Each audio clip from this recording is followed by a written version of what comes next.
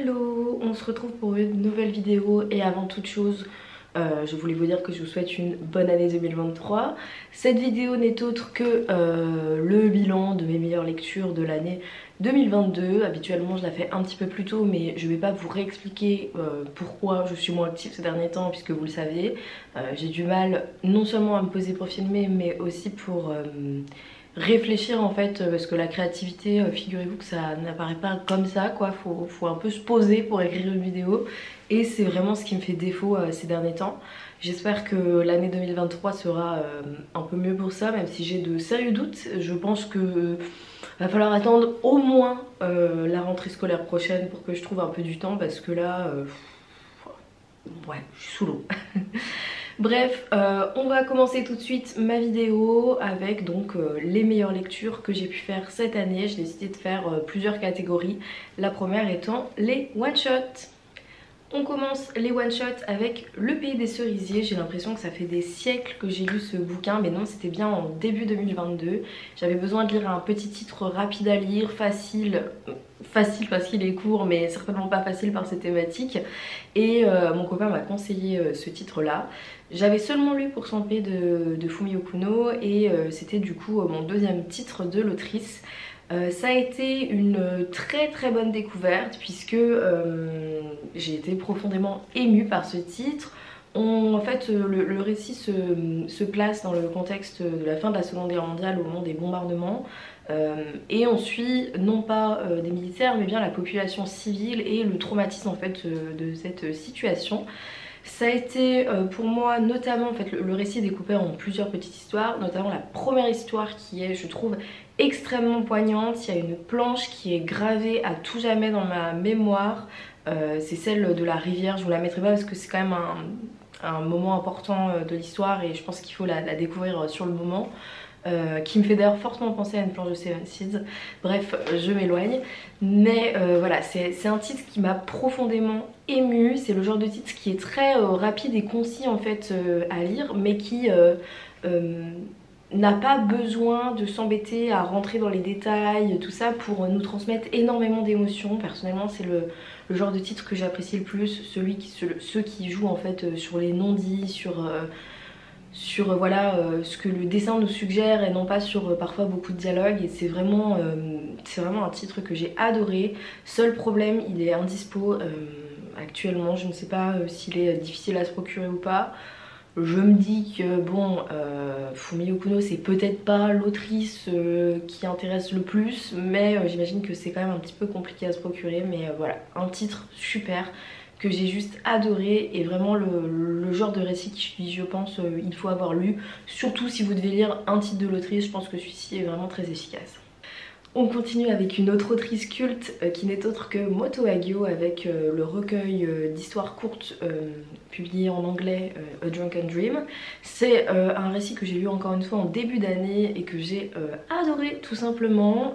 J'aime beaucoup le travail de Moto Hagio sur des récits très courts, j'ai adoré l'anthologie, J'adore A Drunken Dream. J'ai seulement lu euh, Le cœur de Thomas et j'avoue que je n'avais pas trop accroché à cette espèce d'ambiance de gamin de 12 ans qui boit du cognac dans un pensionnat. Faudrait peut-être que je réessaye mais j'avoue que c'était pas du tout mon truc et même dans l'anthologie les histoires qui se rapprochaient du cœur de Thomas c'était celle que j'aimais le moins bref euh, j'ai un peu du mal avec euh, ce cette thématique là on va dire. Mais euh, j'ai trop hâte de découvrir euh, le clan des pots qui va bientôt sortir chez Akata. Enfin bientôt j'espère parce que ça va être un peu repoussé. Euh, bref, pour ce qui est de Drunken Dream, donc c'est un recueil d'histoires courtes, c'est un petit peu compliqué pour moi de vous dire voilà, un avis global puisque les histoires sont toutes très différentes, mais ce qu'il faut savoir c'est qu'il y a des histoires qui sont communs avec l'anthologie et d'autres pas du tout, donc il y a vraiment des récits inédits très sympathiques et ça vaut le coup si vous avez envie de vous intéresser à l'autrice de découvrir euh, ce titre là. Personnellement j'ai adoré parce que je la trouve vraiment très fine sur ses récits courts, elle est vraiment très efficace et euh, vraiment juste j'adore. Je vous conseille aussi ce, je l'ai euh, ce bouquin parce que il y a des histoires plus récentes, je pense notamment à l'histoire de l'arbre à la fin de... À l'histoire de l'arbre à la fin de, du, recueil en fait qui, euh, est pour le coup un, quelque chose de plus récent. On retrouve mon histoire préférée qui est la princesse Iguane. J'adore la princesse Iguane, vraiment c'est mon histoire courte préférée de Moto Agio et pour le coup elle est présente dans l'anthologie qui n'est plus dispo, mais bref. Voilà, euh, j'ai bien aimé euh, Girl on Porch euh, with Puppy. J'ai bien aimé La Princesse Iguane. J'ai bien aimé The Willow Tree. Et je me souviens plus trop des autres, mais voilà, c'était très cool et vraiment très chouette. En plus de ça, on a une interview de Moto à la fin du recueil et voilà, donc c'est très chouette. Lisez du Moto lisez le Clampo qui va bientôt être publié et intéressez-vous à ces histoires courtes qui sont aussi très très chouettes. Toujours dans les one-shots, je vais vous parler euh, certainement d'une de mes meilleures lectures de l'année 2020 en termes de one-shot ou plutôt d'histoire courte puisque euh, chaque chapitre est presque une histoire euh, indépendante. On y suit seulement un personnage qui revient tout le temps et il s'agit de la concierge du grand magasin où on suit une jeune femme qui est en train de se former au métier de concierge d'un grand magasin qui consiste en fait à conseiller les clients, ses clients sont des animaux, des espèces euh, disparues en voie de disparition. Je rentre pas trop dans les détails parce que je vous en ai déjà parlé pas mal. Mais euh, je voulais quand même revenir dessus dans, ce top puisque c'est vraiment un, récit qui m'a euh, profondément touchée, que j'ai juste adoré, vraiment trop chouette. donc c'est cette concierge rencontre des espèces en voie de disparition ou disparues et c'est vraiment fait de façon très intelligente par l'auteur, à savoir que tout l'enjeu du chapitre va tourner en fait autour de l'animal, de son espèce, de justement euh, du pourquoi, du comment cette espèce est euh, disparue ou va disparaître. Et vraiment j'ai trouvé ça hyper intelligent. C'est vraiment un titre euh, bien fait quoi. Vraiment le, genre d'histoire où vous, êtes en train de vous dire bah voilà ça c'est un, récit bien écrit, il n'y a pas une zone d'ombre où je me dis bon là c'était un petit peu foireux.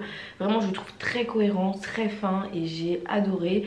Je trouve aussi que le style graphique accompagne parfaitement son, histoire puisque euh, il y a ce côté un petit peu naïf euh, comme presque dans des albums jeunesse parfois et euh, qui me rappelle un peu les moumines je sais pas si vous voyez ce que c'est voilà et donc il y a ce côté un petit peu naïf et qui, accompagne très bien ces animaux qui se baladent dans, ce grand magasin. Il y a vraiment un, un, choc entre ces belles boutiques un peu rétro et ces animaux qui se baladent en costume quoi. Et vraiment j'ai trouvé que c'était un univers hyper beau, hyper positif parce que c'est vraiment des histoires, euh, de belles histoires mais qui vont pas vous faire euh, trop de mal quoi, c'est pas le pays des cerisiers. Et vraiment j'ai juste adoré, j'ai été trop émue par les histoires euh, de ces petits animaux et qui ont été malheureusement très souvent massacrés par l'homme. Et vraiment juste immense coup de cœur, c'est le genre de titre que je veux mettre entre les mains de tout le monde, que je vais je pense offrir à beaucoup de personnes.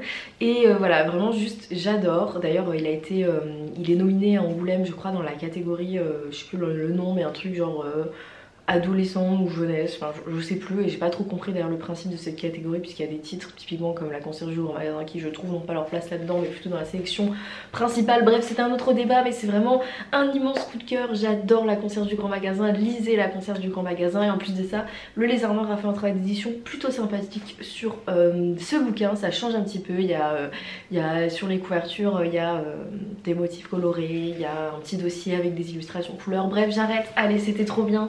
Euh, voilà. On continue avec les récits courts qui ne sont pas des one-shots du coup mais qui comptabilisent 2, 3, 4 tomes, voilà les, choses pas trop trop longues euh, dont euh, j'ai envie de vous parler. Et on commence tout de suite avec un récit en deux tomes, il s'agit de Que reste-t-il de nos rêves que j'ai personnellement adoré. C'est un titre qui nous parle de deux femmes qui sont au début de l'histoire deux personnes âgées. En fait, on va revenir sur leur parcours de vie. Ces deux femmes sont en fait euh, deux euh, femmes qui s'aimaient, qui étaient, euh, qui étaient amoureuses l'une de l'autre, mais qui malheureusement n'ont pas pu vivre leur, amour au grand jour, puisque bah, l'homosexualité au Japon et dans de nombreux endroits à leur époque, c'était complètement inenvisageable d'être en couple publiquement et ouvertement à cette époque-là, même de se marier, enfin bref, voilà, vous connaissez la chanson. Et euh, donc on revient sur leur parcours de vie et euh, sur les interactions qu'elles ont pu avoir au fur et à mesure de leur vie. Elles ont choisi, chacune choisi de vivre les choses différemment. On a une qui s'est mise dans un foyer traditionnel où elle était une épouse, l'autre qui a vécu une vie un peu différente. Voilà, on revient vraiment en arrière sur le parcours de deux femmes qui se sont aimées mais qui malheureusement n'ont pas pu vivre ensemble. C'est donc un récit plutôt triste, plutôt émouvant, mais euh, vraiment à lire. Je trouve que sincèrement c'est très difficile de trouver des romances lesbiennes bien écrites. Euh, moi j'en connais que très peu, il y en a une autre dont je vais vous parler euh, mais qui n'est pas du manga du coup un peu plus tard dans, la vidéo. Mais voilà je trouve que c'est pas évident de trouver ce genre de titre et celui-ci le fait très bien. Ça reste quand même un récit qui a des défauts, parfois la narration est un petit peu difficile à suivre, le dessin n'est pas le plus beau que j'ai vu de ma vie, l'édition n'est pas parfaite parce que c'est une petite maison d'édition, mais franchement euh, pour moi c'est vraiment un gros coup de cœur, un récit fin où on sent vraiment... Euh, euh, comment dire, une intelligence de la part de l'auteur ou l'autrice, je sais plus. Mais voilà, il y, a quelque chose de, vraiment touchant et bien écrit qu'il faut, qu'il faut encourager et soutenir et euh, vraiment j'ai juste euh, adoré ce titre euh, malgré ses petits défauts et voilà, coup de cœur. On continue les récits courts avec L'Oiseau d'or de Kainis qui a été conseillé par Laureline que vous voyez régulièrement passer sur cette chaîne. C'est un titre que, bah, qui était complètement passé sous les radars pour moi puisque et eh ben pour moi c'était juste un énième titre copiant Bright Stories qui sortait euh, dans la totale, euh, l'indifférence la plus totale en France. Et quelle erreur, c'est vraiment un récit qui vaut le coup de s'arrêter et que je vous recommande.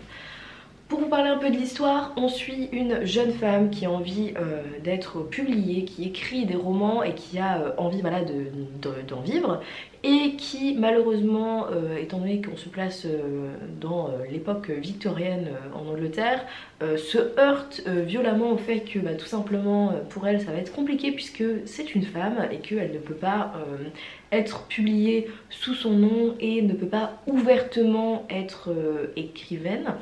Et euh, cette, cette, jeune femme va donc prendre la décision d'avoir un nom de plume masculin et va aller plus loin puisque euh, elle n'a pas juste envie d'être publiée, en fait elle a envie de, vivre la vie euh, des écrivains à Londres et d'évoluer en fait dans cette sphère littéraire.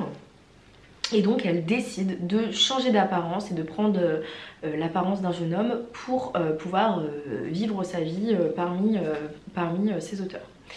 C'est un titre que je trouve intéressant déjà par son histoire parce que euh, je la trouve euh, bien écrite, la narration est efficace, on rentre vraiment dans l'histoire, il y a ce petit côté euh, historique qui personnellement me plaît beaucoup, enfin voilà c'est une histoire qui est bien écrite, qui fonctionne bien et voilà que j'apprécie beaucoup. Mais aussi parce que je trouve que c'est un titre qui a pour questionnement principal en fait le sexisme tout simplement puisque euh, ce qu'expérimente et vit euh, l'héroïne c'est tout simplement du sexisme et elle se heurte régulièrement à euh, des choses qui sont étroitement liées à sa condition de femme et qui la limitent et c'est le questionnement principal de l'histoire. Je ne suis pas en train de vous dire, parce qu'on me l'a un peu reproché quand j'en ai parlé la dernière fois, que c'est le plus grand manifeste du féminisme qui aborde de façon extrêmement précise ces questionnements-là, pas du tout, euh, ne vous attendez pas à ça, ça reste une fiction qui survole ces idées, mais ce que je trouve intéressant, c'est que l'histoire est construite autour de ces questionnements, que ce soit le féminisme, le genre, la place de la femme, ce genre de choses. Donc c'est vraiment l'enjeu principal de l'histoire et c'est pour ça que je trouve que c'est ce petit plus en fait qui, le rend intéressant. Actuellement, il y a 3 tomes en France, euh, il y en a 4 qui vont sortir. Si je dis pas de bêtises, le quatrième tome est prévu pour février, sauf si ça a changé entre temps. Et vraiment, je vous conseille de ne pas passer à côté de, ce titre en 4 tomes, ce serait vraiment trop bête parce que vraiment, euh, bah, n'a pas du tout fait de com autour. Déjà, moi, j'avais pas compris en fait. Euh, le peu de fois où je l'avais vu passer, j'avais pas du tout compris que c'était un titre qui allait aborder ces thématiques là. Moi je croyais juste que c'était un récit historique point quoi. Et vraiment j'ai adoré et je vous le recommande fois 10 000. Voilà, c'est clair Pour faire la transition entre euh, les récits courts et les récits un petit peu plus longs, j'ai décidé de vous mettre Le Cortège des 100 démons qui est à la fois un récit court en France et un récit fleuve euh, au Japon. Euh, je vous en ai pas mal parlé de ce titre là puisque ça a été un gros coup de cœur. En France on a seulement 6 tomes mais comme je vous l'ai déjà dit les histoires sont quasiment autoconclusives donc c'est pas trop un problème si on n'a pas les 40 suivants quoi. Euh, on y suit un personnage qui en gros euh, mène des enquêtes autour euh, des yokai et le tout est accompagné d'un dessin sublime, notamment les illustrations couleurs qui sont magnifique et voilà je vous en ai déjà mis plein dans toutes mes autres vidéos mais à la limite je vous en remettrai pour en rajouter une couche. C'est un titre que j'ai adoré parce que j'ai adoré me plonger dans l'univers des yokai et je trouve que c'était vraiment bien fait. J'ai accroché vraiment au personnage principal, à la jeune femme qu'on croise régulièrement et qui l'accompagne aussi, aux corbeaux aussi qui sont euh, très présents. Enfin voilà, il y, a tout un univers que j'ai trouvé très attachant et que j'ai personnellement adoré. Euh, c'est pas le seul titre de yokai, en ce moment d'ailleurs euh, c'est le début du pacte des yokai cette année. J'aurais peut-être pu le mettre là-dedans mais j'ai pas beaucoup lu donc je sais pas encore. Mais voilà, il y a, a d'autres titres sur les yokai qui existent mais celui-ci est vraiment très chouette bien écrit, bien dessiné. Apparemment, il tire un petit peu en longueur sur la fin euh, au Japon, hein, parce que nous, à la fin, euh, voilà. Mais pour ce qui est des six premiers tomes, c'est vraiment, euh, vraiment intriguant. Moi, personnellement, j'étais quand même un petit peu frustrée d'avoir plus six tomes parce que c'était quand même très bien. Mais voilà, vraiment un titre à lire. C'est pas la recommandation principale que je vous fais parce que je suis bien consciente qu'un titre à moitié publié qui voilà n'a pas de fin, euh, bon c'est pas le récit qui vous parlera le plus mais vraiment très chouette et à lire si vous aimez bien les yokai et que vous avez envie de découvrir un nouveau manga dessus. Vous avez dû le comprendre euh, avec euh, bah, mes bilans culturels et avec euh, bah, mon absence de YouTube. Cette année n'est pas l'année du temps pour lire, l'année de l'envie de lire ou l'année de la créativité.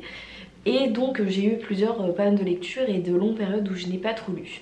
Pour me sortir de ces bonnes de lecture, je dirais que j'ai deux méthodes. Les récits très courts pour euh, avoir la satisfaction d'arriver au bout de quelque chose et que ce soit euh, pas une épreuve trop trop longue et difficile. Et euh, les récits qui vont vous prendre au trip. J'ai besoin de ce genre de récits parfois pour... Bah, pour faire battre mon cœur quoi parce que parfois tu lis un truc et tu te dis bon c'est pas, pas fou et il m'en faut plus quoi il m'en faut plus pour avoir cette envie de lire parce que j'ai du mal en ce moment et j'ai trop de choses qui me prennent la tête. Et donc euh, l'année dernière j'ai lu tous les Yumi Tamura euh, que j'avais à disposition. Donc il fallait que je trouve un nouveau filon pour faire battre mon cœur et pour me faire rentrer dans un titre avec des retournements de situation, des histoires euh, délirantes et bien écrites. Enfin voilà, j'avais besoin d'un nouveau filon et ce nouveau filon c'est le travail de Reiko Shimizu avec Princesse Kaguya. Princesse Kaguya, ça nous parle d'un groupe d'adolescents qui débarquent sur une île. On comprend qu'ils ont des liens entre eux, qu'ils sont euh, plus ou moins liés, qu'il y a quelque chose par rapport à cette île.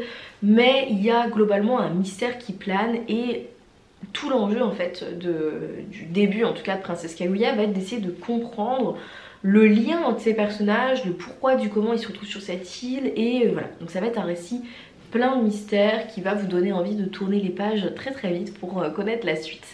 Si j'aime autant le travail de Reiko Shimizu, je vais être obligée de le mettre en parallèle avec celui du Mitamura parce que c'est deux autrices que je trouve exceptionnelles.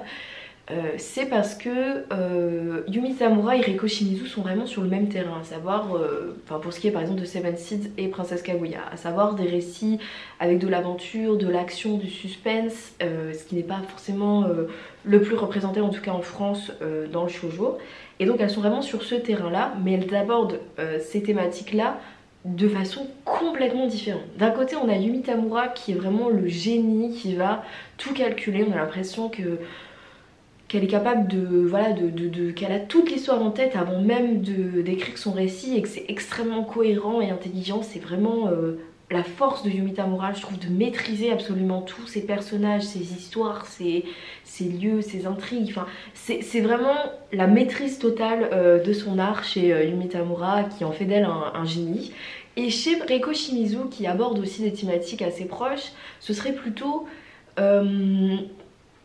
une forme euh, de créativité euh, hyper vaste et impulsive et abondante et surprenante en fait qui du coup est moins structurée que chez Yumi Tamura mais euh, au risque parfois d'être un peu moins cohérent hein, et qui mais qui est d'une grande spontanéité et qui vous surprend et vous prend aux tripes Euh, enfin voilà, c'est vraiment ça moi qui, me parle chez Reiko Shimizu. Elle est capable de faire commencer l'histoire comme une Robinsonade et puis après hop, changement de décor, on, change complètement de registre et en fait on quitte cette île pour euh, vivre autre chose. Et puis euh, il y a tout un passage que j'aimerais d'ailleurs aborder dans une prochaine vidéo qui lui graphiquement va ressembler beaucoup plus à du body horror. On a vraiment la décomposition des corps.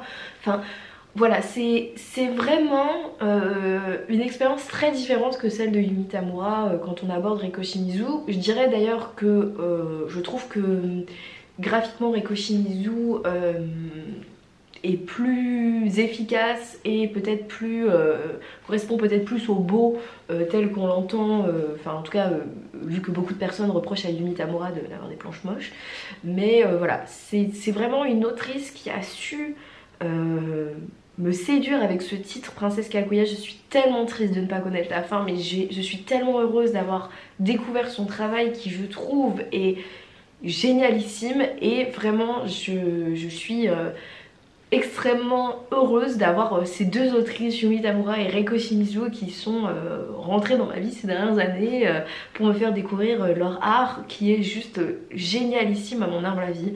Princesse Kaguya c'est un titre qui est difficile à se procurer, je, vous l'accorde. Mais d'ailleurs même The Top Secret qui est son autre œuvre dispo en français, enfin seulement la première saison. Mais vraiment si vous avez la possibilité d'essayer, je vous conseille vivement, vivement d'aborder, euh, de découvrir son travail parce que euh, c'est euh, exceptionnel. Voilà, et je pèse mes mots. ah oui, et une dernière chose sur Eiko Shimizu, je l'ai fait lire à Laureline et elle n'a pas du tout aimé. Euh, j'étais très déçue et j'en ai fait d'elle, euh, elle n'est plus ma meilleure amie en fait, hein, voilà. Mais ce que je voulais dire par là, c'est que euh, ce qu'elle a reproché à Reiko Shimizu, c'est quelque chose qui personnellement ne me dérange absolument pas. C'est-à-dire que Princesse Kaguya peut avoir des incohérences, par exemple en termes de science, en termes de, voilà, de de narration, sur deux choses et c'est quelque chose qui la dérange beaucoup. Moi personnellement à partir du moment où c'est logique en sein de l'œuvre j'accepte à peu près tout. Mais euh, voilà, je voulais vous dire que si vous êtes très terre à terre, euh, Princesse Kaguya ce sera pas forcément ce qui vous parlera le plus.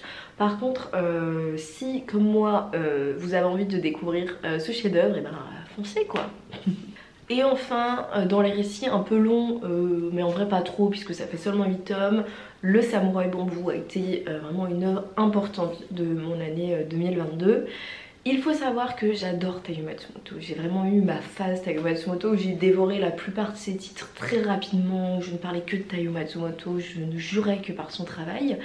Et euh, ça m'est un peu passé quand même, je me suis calmée. Et surtout maintenant les œuvres qui me restent en fait j'essaye de les d'espacer leur lecture parce que j'ai pas envie d'arriver au bout de bout du, tunnel quoi. J'ai vraiment envie de, découvrir son travail plus progressivement que j'ai pu le faire euh, au début de ma boulimie euh, de Taiyo Matsumoto. Donc pour ce qui est du Samouraï Bambou, c'est une œuvre un petit peu différente euh, des œuvres de Taiyo Matsumoto qui abordent l'enfance puisque avec ce récit, on se place dans un contexte historique, dans le Japon féodal et on suit un homme qui arrive dans un village et qui décide de s'installer. Alors au début les gens sont un petit peu inquiets parce que qui est cet inconnu finalement? Et en fait il arrive à trouver, euh, à trouver sa place dans cette communauté. Et c'est vraiment un récit qui sur la première partie est un slice of life pur et dur en fait, vraiment c'est très slice of life, on suit le quotidien de cet homme, son envie de, de s'installer dans cette euh, ville, voilà. Et ce que j'ai trouvé particulièrement saisissant, c'est déjà que graphiquement c'est exceptionnel comme toujours avec Tayu Matsumoto. Mais surtout parce que c'est l'histoire d'une montée en puissance. C'est à dire que c'est un récit qui commence de façon très calme et puis progressivement on sent une certaine violence, une certaine haine qui s'installe euh, de façon euh, très progressive dans le récit jusqu'à exploser sur le dernier tome. Et vraiment jusqu'à euh, changer radicalement de d'ambiance et à nous proposer un récit de samouraï complètement explosif et saisissant. Et vraiment c'est un titre que j'ai adoré découvrir en 2022. Personnellement j'avoue que j'ai un petit faible pour la partie un peu plus slice of life mais c'est parce que j'adore le slice of life et que j'ai beaucoup aimé euh, découvrir ce samouraï un peu rêveur. Mais euh, je trouve que voilà c'est encore une fois euh, bah, un auteur de génie, j'adore le travail de Tayu Matsumoto et j'ai vraiment été saisi par le samouraï bambou. C'est peut-être pas le titre que je recommanderais à quelqu'un qui veut débuter son travail, ce serait peut-être plutôt le Sony. Mais euh, voilà, euh, gros gros coup de cœur, j'ai juste euh, adoré et je suis trop contente de, découvrir un peu plus progressivement ses, œuvres. Et le samouraï bambou était pour moi un récit intéressant puisque vraiment ça changé de ce que j'avais pu lire et j'ai adoré. Et du coup c'est ici que s'arrête ce fabuleux top de l'année 2022 avec mes meilleures lectures qui ne sont pas hyper nombreuses mais j'ai eu la chance de tomber sur des choses très chouettes euh, ce qui m'a permis quand même de voilà, vous faire une vidéo euh, suffisamment longue. Et euh, voilà j'espère que l'année 2023 sera un peu plus riche euh, elle commence pas mal parce que là je viens de lire les deux premiers tomes de Sound of Life et euh, c'est très sympa même si euh, j'avoue que j'ai perdu l'habitude de lire du shonen et que tous ces bons sentiments m'ont un peu déstabilisé. Bref je m'arrête ici. Sur ce je vous laisse et je vous propose de vous abonner, de liker machin, j'oublie tout le temps de le dire et bref salut